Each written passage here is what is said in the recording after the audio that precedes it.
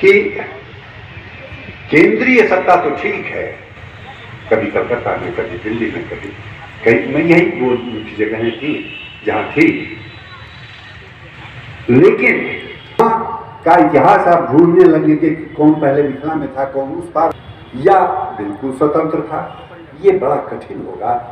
इसलिए उसको इतिहासकारों ने कहा कि ये फजी है, धुंधला है। इसको निकाल पाना हमारे लिए कठिन हो गठन भी हुआ है, खासकर क्या कहना चाहते हैं? जन्म दिवस जो आप लोग मना रहे हैं इसमें ये महाराजा कामेश्वर सिंह कल्याणी फाउंडेशन हर साल जिस तरह से प्रोग्राम करता था, उसी साल इस साल भी हम लोग उसी तरह से प्लान कर रहे थे, पर कोविड के कारण, कोविड को देखते हुए हम लोगों ने इस बार कम लोगों को आमंत्रित किया इस प्रोग्राम के लिए। पर प्रोग्राम को हम लोगों ने भी प्रोग्राम को भी हम लोगों ने कोविड के कारण छोटा किया। और इस कारण हम लोग बहुत शॉर्ट डेढ़, दो घंटे का ही प्रोग्राम हम लोग कर पाए। और ये सुरक्षा की नज़र से ये ज़रूरी थी। प्रोग्राम जो हम लोगों ने किया, उसमें पहला काम था कि महाराजा धीराज कामेश्वर सिंह कल्याणी फाउंडेशन हर साल memorial lecture Kameshwar Singh memorial lecture करवाती है, जिसमें देश के विद्वानों को बुलाया जाता है, जो यहाँ आके लेक्चर मेमोरियल लेक्चर देते हैं। इस साल हम लोगों ने रत्नेश्वर मिश्रा जी को, प्रोफेसर रत्नेश्वर मिश्रा जो हिस्ट्री डिपार्टमेंट में यहाँ पे जी हेड थे, उनको कहा था लेक्चर देने के लिए। और उन्होंने राष्ट्रवाद राष्ट्रवाद का भारतीय संदर्भ, ऐतिहासिक आयाम विषय पर लेक्चर दिया।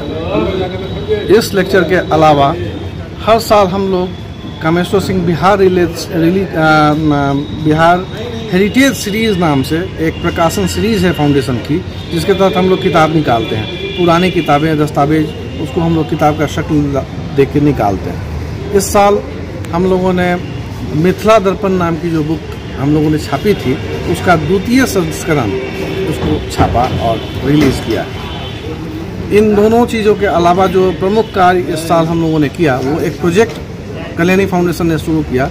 उसका नाम है दास्तान दरभंगा। ये दास्तान दरभंगा बहुत इम्पोर्टेंट प्रोजेक्ट दिमाग में आया था फाउंडेशन के।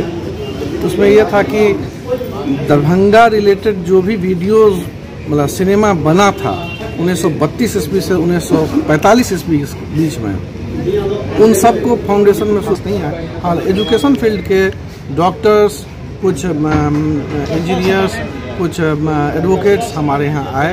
कुल मिला के करीब 100 के आसपास गेस्ट थे, जो एक कट ऑफ़ मार्क है जो हम लोगों ने सोचा था कि उससे उससे कम ही होना चाहिए सौ से ऊपर नहीं जाना चाहिए। तो हम लोगों ने सौ को एक्सीड नहीं किया।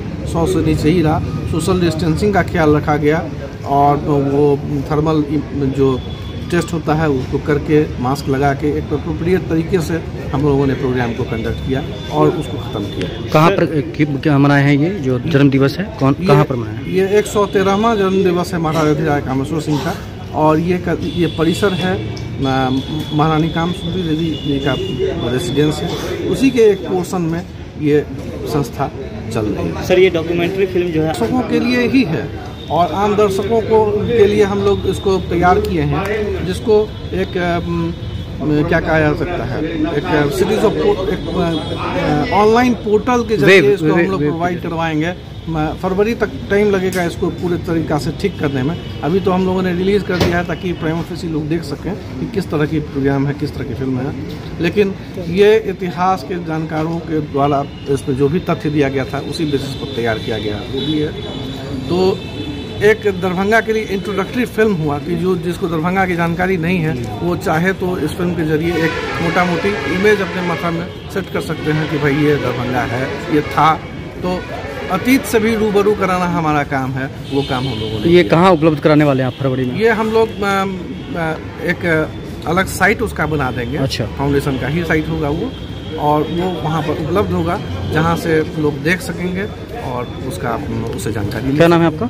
मेरा नाम श्रुतिकर झा है और मैं कल्याणी फाउंडेशन का कार्यपालक पदाधिकारी चलिए धन्यवाद।